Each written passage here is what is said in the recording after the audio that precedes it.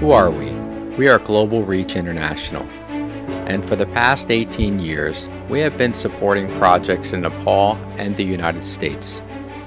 We have a simple but robust mission to help people in need.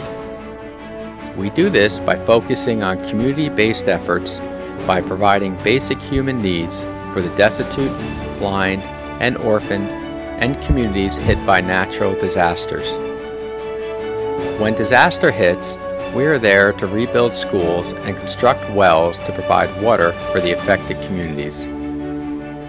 If you would like to learn more about our charity and how you can make a difference, please visit our website at globalreachinternational.org. We thank you for your support and look forward to hearing from you.